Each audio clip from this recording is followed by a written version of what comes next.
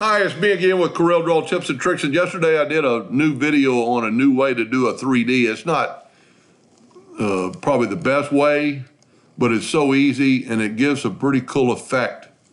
Uh, this is a star, and you can see the white where the laser didn't even touch it.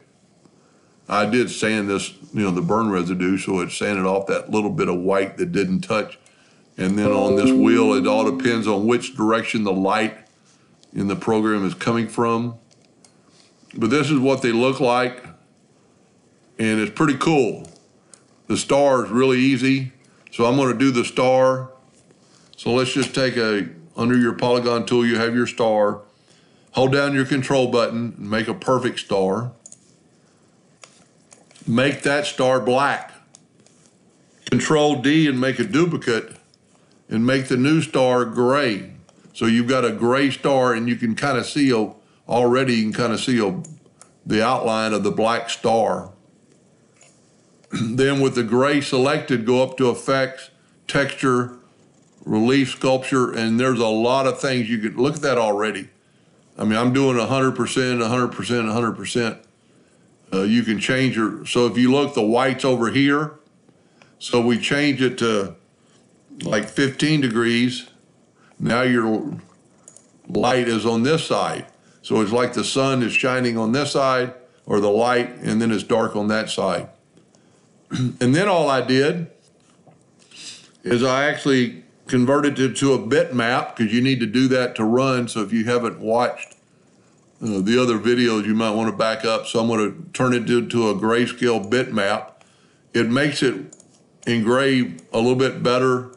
It actually kind of fuzzies it up but for some reason it really works. So I'm going to hit P and put in the center of the page. Well, maybe you can't when it's a bitmap. So we'll just do it from right here. We're going to make a duplicate of that guy, Control D. Holding down the Shift and the Control button, I'm going to bring that in. And then I'm going to recenter it. So you could get a lot of different looks. I'm going to actually holding down the control button this time, bring it make it a little bit littler.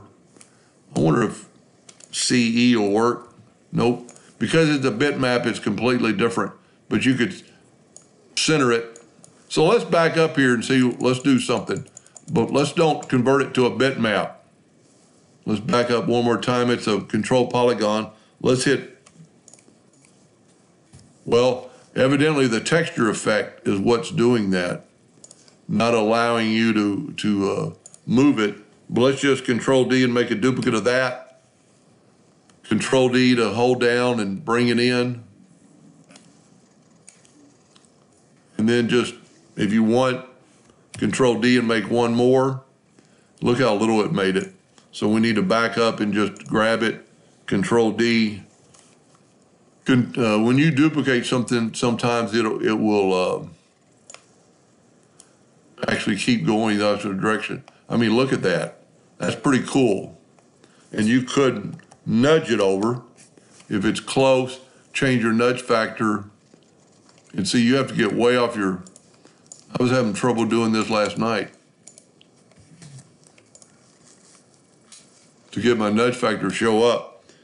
The texture tool kind of evidently kind of takes over.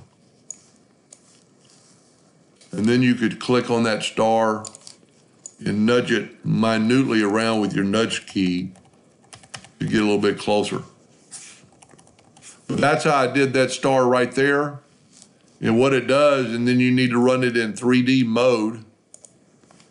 And it's not a true 3D, but for what it's worth, it's it's uh, works pretty well. Anyway, hope that helped a little bit. Thank you for watching.